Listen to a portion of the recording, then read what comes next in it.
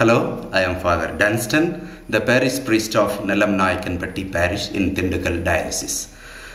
We have 200 Catholic families in the parish and the people are mostly farmers. Some are having their own land and they also have their own cattle. Mostly people go for work early morning. They depart around 4 or 5 o'clock. They go for different works. Some are going for distribution of the milk. And parish also consists of teachers, government employees and people working in abroad. And the participation of the people with regard to the spiritual activities in the parish is very well appreciative. They are very well cooperative along with the parish priest and they come for mass on all the Sundays. Due to their heavy working schedule, people are not able to come for daily mass but they come for only on Sunday mass.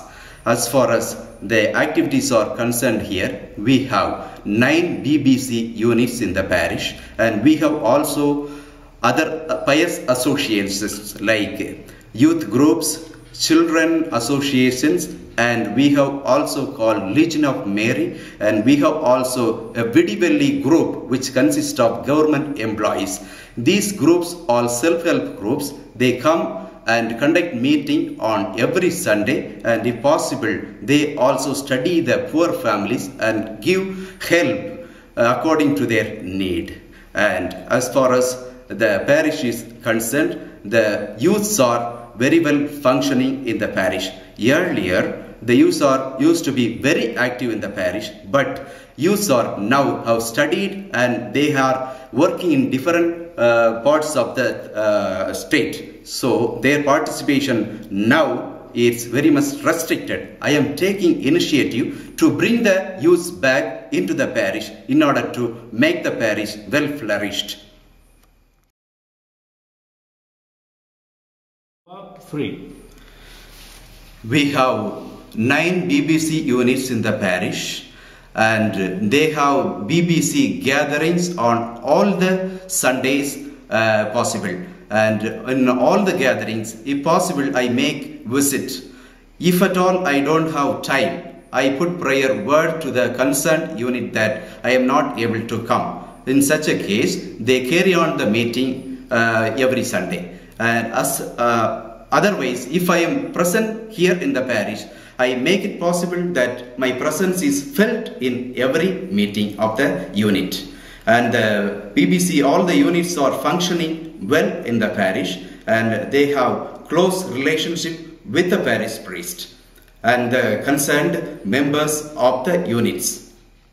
Every BCC units have given a particular chart and in the chart they have certain procedures uh, formulated and uh, given uh, by the diocese.